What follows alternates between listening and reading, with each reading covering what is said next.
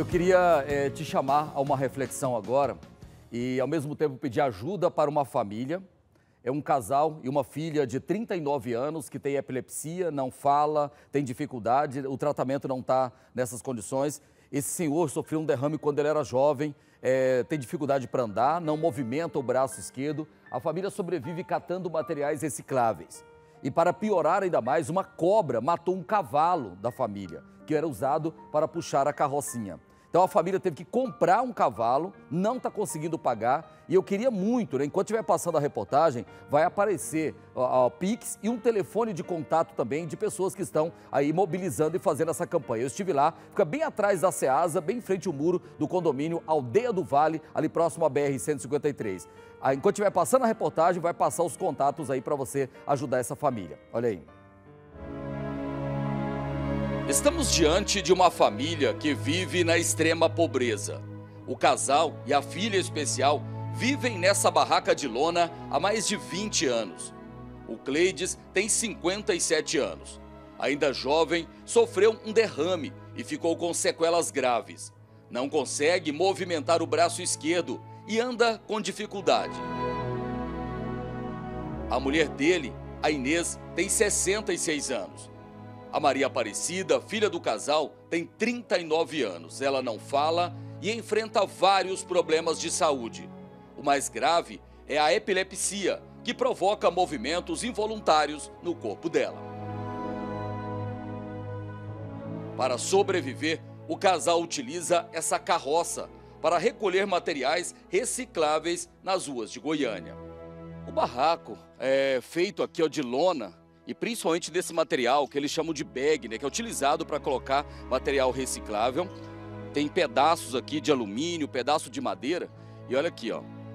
A situação é essa. Essa parte alta que fica atrás aqui, quando chove, a água desce aqui e acaba entrando aqui na casa. Olha as condições é, da moradia dessa família. A gente vai entrar aqui para ver aqui dentro como é que essa família está vivendo. Aqui nessa cama, quem é que dorme? A minha filha. Ela dorme aqui? Dorme. É, aí. Olha aqui, ó. É um extra, é um, uma cama, né? E tem aqui um colchão. Aqui a lona do lado. É aqui que a filha dela, especial, dorme.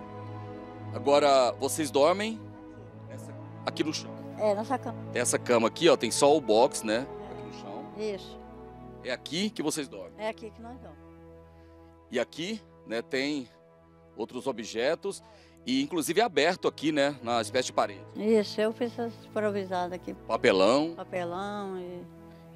Tem hora que você acha muito prático, e aqui, Loares, ó, aqui quando chove, isso aqui não presta, que a lona, igual eu falei para você, ela, nós tirou dali, né, e colocou aqui, mas não presta porque ela, quando chove, isso aqui moia tudinho. Ah, então essas placas aqui, elas, a água passa aqui por elas. Passa, por cima da lona, eu não sei como ela desce aí, porque a, a lona... Olha tudo aqui dentro. Tudo aqui dentro. Você pode ver que é, tá até um daí, moia tudo, tudo, tudo, tudo. Só não moia nessa parte aqui, mas Olha, é umas goteiras. O que ela está dizendo é o seguinte, a lona lá em cima, ela não protege, porque está velha, rasgada. Quando vem nessas placas aqui de madeira, a água acaba caindo aqui dentro. É, cai. Cai tudinho, morre tudinho. Tá igual um, você furar uma lata e jogar água dentro dela. Aí como é que vocês fazem enquanto tá chovendo aqui? Aí a gente fica sentado aqui, dobra o colchão e senta e eu fico olhando pela menina, né? Eu, às vezes eu pego uma lona, essa loninha que tá aqui, ó, e jogo por cima dela. Joga a lona na sua filha? É, você, é, eu cobre ela e joga a lona em cima dela para não molhar, porque... Então, essa lona que está aqui, a, quando tá chovendo, a senhora usa para cobrir a sua filha? Cobre a minha menina, para não molhar, né? Porque se você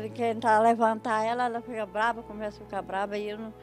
Aí ela tem que molhar, não pode deixar molhar. Aí ela fica deitada aqui e vocês colocam a lona? A lona em cima dela, para ela não molhar. Mas aqui moia tudo. Não adiantou, a gente fez aqui, mas moia do mesmo E é muito quente aqui, né? É muito quente, muito quente.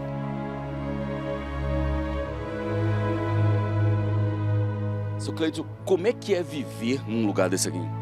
Olha, pelo jeito que vocês estão vendo, a situação é o que deu para nós construir um barraquinho improvisado de lona para nós sobreviver dentro de casa, porque eu não tenho condições de comprar material de construção para mim fazer uma casa decente.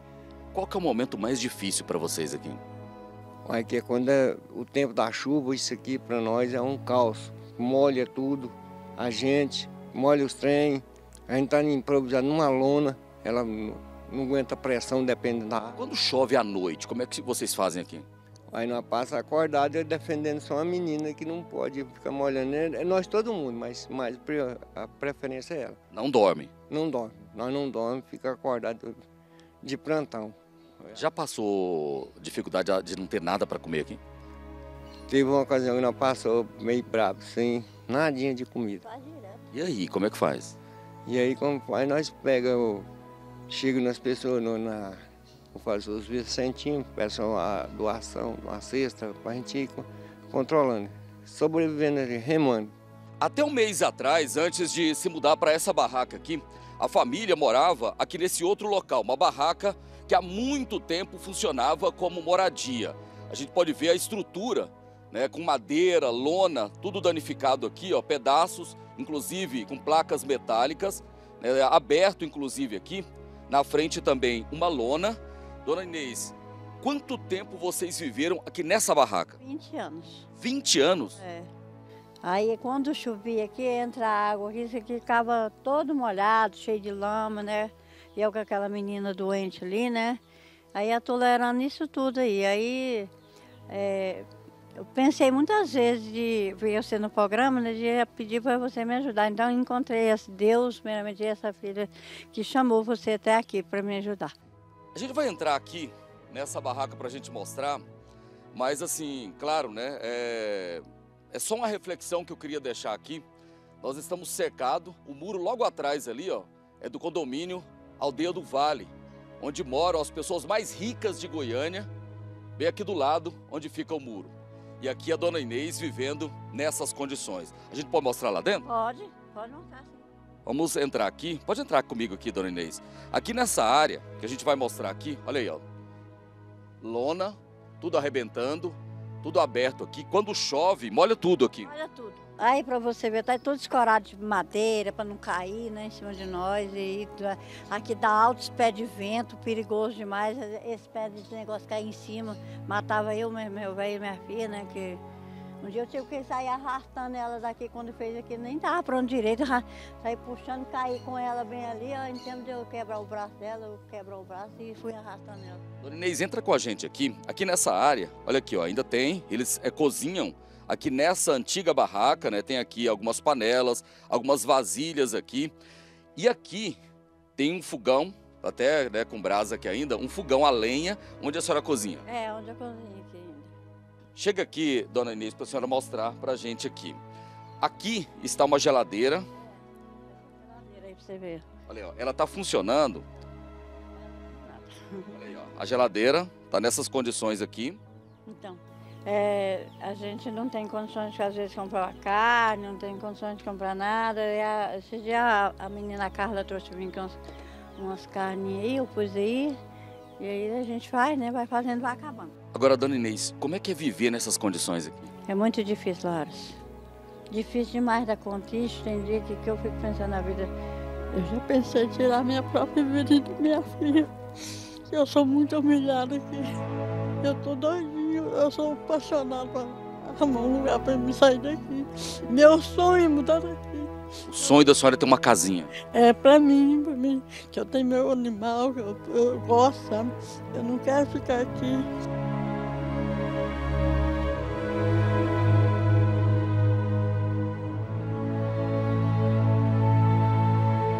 Para complicar ainda mais a situação da família, tá vendo aquele cavalo ali, ó? O casal comprou o cavalo, tá devendo ali 3 mil reais. E o seu cliente estava me contando aqui, ô oh, meu amor, tá chorando, olha aqui, a emoção dela ao contar essa história. O que aconteceu? Conta pra gente o que aconteceu com o outro cavalo de você. O outro cavalo chegou, nós chegou com ele, desarriou, pôs para ele beber água. No que ele chegou, nós não sabia tinha uma cobra desocupada debaixo do trem, aí mordeu ele. Nós tentou salvar ele, mas não conseguiu. Foi nesse coxo atrás aqui? Foi no coxo atrás, nós não sabíamos. Se nós tivéssemos, não tinha posto o animal. Mas é um trem que nós ninguém sabe, a cobra estava debaixo do coxo d'água. No que ele foi beber, mordeu nas pernas dele. E nós correu atrás de veterinário para ver se salvava ele, não conseguiu. Minha mulher quase adoeceu de negócio de depressão. Morde a boa perca do cavalo, foi calma, que nós vamos conseguir arrumar outra. Com muito custo, ela calmou, foi conformando. Veio um amigo nosso que mexe, viu a situação, e foi eu vendo o cavalo para vocês e pagando aos poucos para nós. Então vocês estão devendo aquele cavalo ali? Devendo aquele cavalo 3 mil real, ele. Então nós vamos ter de lutando com a reciclagem e passando para ele, conforme vai vendendo os tempos, a gente paga nele aos poucos, até pagar os 3 mil. E a situação que a dona Inês estava dizendo aqui pra gente, que trabalhar com reciclagem é um jogo. É um O quê? jogo. É um jogo que uma hora é igual mexer com tudo. Uma hora você ganha, outra hora você não ganha. Uma hora você acha muita coisa, outra hora você não acha nada. Tem dia que não ganha nada. Tem dia que não ganha nada. E esse- a morte desse cavalo complicou ainda mais a situação de vocês. Claro, muito mais. Porque parece que cai uma banda do céu da minha cabeça. Ele, ele era bom demais. Muito mansinho, muito mansinho. Ele era tão manso que você chegava outra pessoa para dar água para ele, ele não bebia. Eu chegava, toma, é a vozinha. Aí ele baixava a boca no balde e bebia. O Cleides, né, como a gente já mostrou, ele sofreu né, um AVC, não movimenta aqui o braço esquerdo, a perna esquerda também quase que não movimenta, é, anda com dificuldade. E a dona Inês estava me contando, essa mulher é tão guerreira, tão forte, que além de materiais recicláveis, vocês também, às vezes, é, acaba sendo contratado para retirar entulho. Entulho é de construção. A senhora pega bloco, tudo isso, Pega tudinho. carrega peso. Carrega o peso, aí a pá e a enxada dentro da carroça. A Carla, que faz trabalhos sociais aqui na região norte de Goiânia, ela já acompanha a situação dessa família há um bom tempo, tenta ajudar de todas as formas. Inclusive, olha aqui, eles conseguiram trazer um fogão e ganharam o botijão de gás para a família. Né? Isso, isso mesmo, Ares. A gente, entre amigos, né, fizemos uma vaquinha, compramos o, o, o fogão, o, o vasilhame foi uma doação de um amigo nosso e hoje a gente comprou o gás, né, trouxemos e fizemos toda a instalação para ela. Só que a Carla, junto com os amigos né, e pessoas aqui da região norte, estão pensando eh, da seguinte forma: né, conseguir doação para dar uma melhorada aqui no barracão da família, né, dar uma estruturada aqui, até conseguir comprar um lote e construir uma casinha. O sonho é grande, mas não é impossível, né? Não, não mesmo, porque a gente estava até olhando, tem várias pessoas tentando nos ajudar. Inclusive, já tem um arquiteto que já fez uma planta baixa.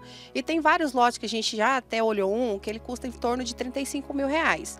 Então, o que, que a gente quer fazer? Dar uma melhorada aqui, porque está chovendo e molha muito, até a gente construir, eh, comprar esse lote e começar a construção dessa casinha para eles. Tá? Melhorar a qualidade de vida aqui até fazer a casinha. Isso mesmo. Tirar isso aqui, né? Fazer um telhado de verdade, colocar umas telhas, é, colocar uma- as paredes de bloco que a gente pensou e pelo menos um contrapiso, né? Um piso queimado. Para conseguir realizar esse sonho, a Carla já conseguiu, como a construtora, 15 dias de mão de obra. Ou seja, é, dá para começar uma obra, dá para tocar a obra. E o Leandro, inclusive, que também participa junto com a Carla aqui de trabalhos aqui.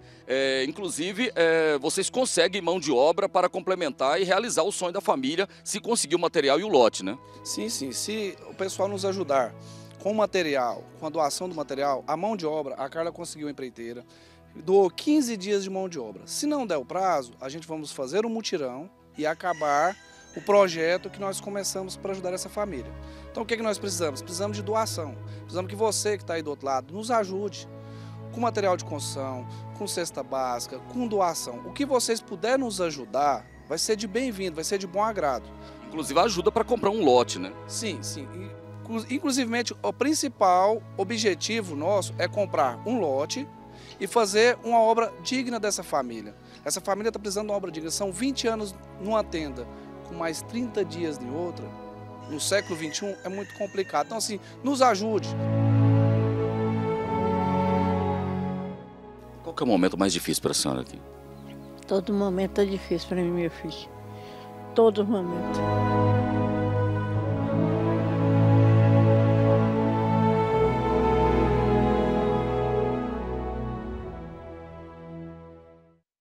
Só lembrando que o que eu coloquei na matéria e que eu falei aqui em relação ao condomínio Aldeia do Vale, gente, eu não estou condenando ninguém por ser rico, não. Graças a Deus as pessoas são ricas, graças a Deus elas podem mo- morar é, é, em casas muito. é, só que eu chamei atenção porque, de um lado do muro, tem as mansões do Aldeia do Vale, do outro, a gente vê família passando fome, passando dificuldade, e agora, gente, como está ventando e chovendo, é, enche de água, é um transtorno danado. a vontade, a necessidade é comprar um lote e levantar uma casinha. Parece impossível? Parece, mas não é. Se cada um puder doar R$ reais, R$ reais, R$ reais, R$ reais, material de construção, lembrando o seguinte, você pode fazer uma doação, a Valéria abriu uma conta num banco virtual, né, para a, a conta estar em nome dela, a gente está fazendo um acompanhamento de todo o dinheiro aí para conseguir ajudar essa família. Você pode fazer uma doação de qualquer valor que você puder, usando a chave Pix, que é esse telefone que está aí, 99658 1480. Essa conta está em nome da Valéria Cristina Lima. Agora, se você preferir, né, combinar um outro tipo de ajuda, material de construção, talvez você tenha um lote, tem material, quer ajudar de outra forma, pode falar com a Carla nesse telefone que aparece no vídeo, que é o 99220 0474. Agora, se você quiser ir lá pessoalmente, visitar a família, quiser ela dar um abraço a essa família, anota o endereço. A família mora na rua Dona Dilena, chácara 79, no sítio Recreio IP, ao lado do clube da Associação dos Servidores UFG. Você vai passar ali, ó, naquela rotatória ao lado da Ceasa, vai entrar ali pelos fundos ali, procurar, né? Vai seguindo o muro do condomínio Aldeia do Vale. Você fica bem ao lado de uma quadra de esporte é, dessa associação dos funcionários do IFG. Então, fica aí o meu pedido de ajuda, o nosso pedido de ajuda para que nós possamos dar esse presente de Natal para essa família. Que Deus lhe pague, que Deus lhe abençoe e esteja sempre colocando o melhor na sua vida e que juntos, né, para que juntos nós possamos mudar a vida e a realidade dessa família, viu? Eu conto com vocês mais uma vez.